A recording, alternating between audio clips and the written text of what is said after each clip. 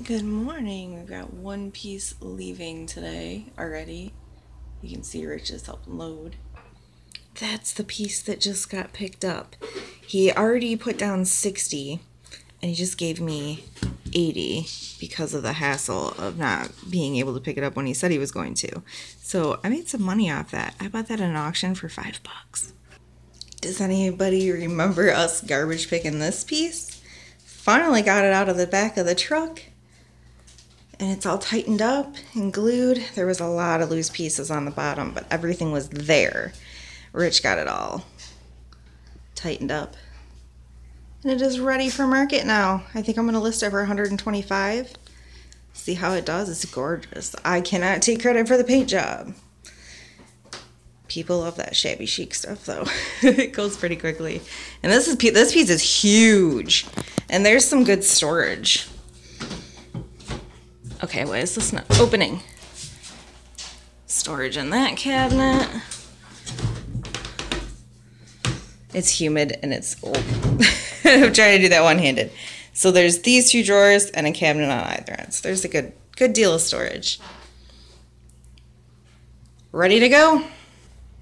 And since we cannot go yard selling because it won't stop raining ever, this is what we sold. I'm going to start in the front and kind of work my way to the back because we've got eBay and Etsy stuff that have sold.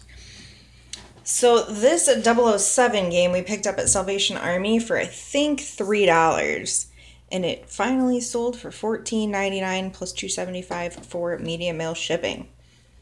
So made a little bit of profit there, but this video game, this video game was a score. This one we picked up for $1 at a yard sale. Now, when I got home, and well, I first realized it's for a Nintendo Switch. Then I opened it and realized there's two games in here. There is the Pikachu game and Super Mario Party for the Nintendo Switch.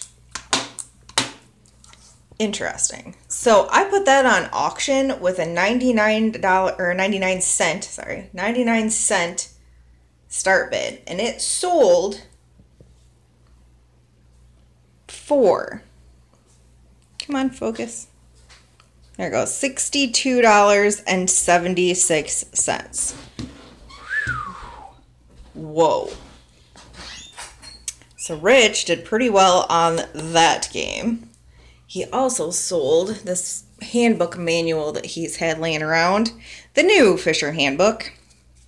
It's pretty cool it's got kind of instructions on old system setups and old stereo consoles and things and stuff and information. Sold that for 10. I believe he picked that up at an auction or within an auction lot somewhere. Probably Casey's, but I'm not super sure on that. This we haven't had too long. I couldn't find anything on it. It is cast iron. It's a flamingo doorstop. I picked this out of a cart at Salvation Army.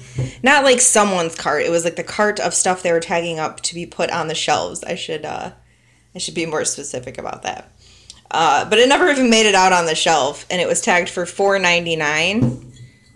And because I couldn't find any and because they are vintage pink flamingos, which anything unique pink flamingo seems to sell well. Um, not the new stuff, but if it's vintage and it's pink flamingo, it tends to sell pretty well. Sold that for forty four ninety five, so forty five bucks on eBay as well. These we haven't had very long at all. I picked these up from Salvation Army on Monday for four dollars a piece. They are brand new with the tags. Clearly no damage. Rich is like, oh my god, those things are so ugly. I don't want those. Well, good. You don't need to have them. I will have them. I uh, I have eight dollars invested in them, and I took a thirty six dollar offer with eleven ten shipping. So made some money off there pretty quickly. They are pretty, you know, with the right lamps, they would look really really swell. Also sold those on eBay. Now we'll move on to the two items that I sold on Etsy. This fireplace screen is epic. It is not vintage like 1940s. It is vintage like 1980s, but it is still pretty sweet. Sold that on Etsy for $80. I don't know where it's going, but it's costing $40 to ship it. Shoo. And it's not a huge box, but I guess it is kind of heavy. These do fold inward like this. Oh, it's going to be a pain with one hand. But anyway, it folds. Voila, like so. Shipping box isn't going to be that bad size-wise. And then we'll move on uh, to another crotchet. Love selling the crotchets. This crocheted blanket we picked up at Salvation Army. I think I paid five for it, but don't quote me on that. It's been a minute. It took me a little while to get it listed. It just kind of sat around and looked pretty here. I used it in a couple stagings for some things I put on Facebook Marketplace. Finally got it listed. It is going to Venice, California. Geez, they paid $23.02 to ship this, and I sold it for $25. And that is all the stuff that we are going to get ready to go out today. And then the weather's really crappy, so I don't know if we'll hit maybe a Salvation Army or find some sale that has everything shoved in a pole barn we'll let you know. On our way to go ship stuff, but we found a garage sale. We're gonna go peep the scene. Well, we did find a couple things. Got that awesome mirror for five bucks and a giant bag of CDs for I think we paid ten, but man, we got some really good ones. Shipping's done, the sun is out, and we're gonna check uh, Salvation Army. See what we can find here. What does it do? I figured out it's a nose like it's a side sideways schnoz. But like what's it for? I don't understand that piece at all. I see. The nose is for your glasses. That makes sense, kind of. It's kind of neat for $3. Now, I do believe we just found a winner winner chicken dinner. That is a very hard to find. Step 2 Seahorse Toddler Swing. I am having a very hard time even finding information on it. That's how rare it is.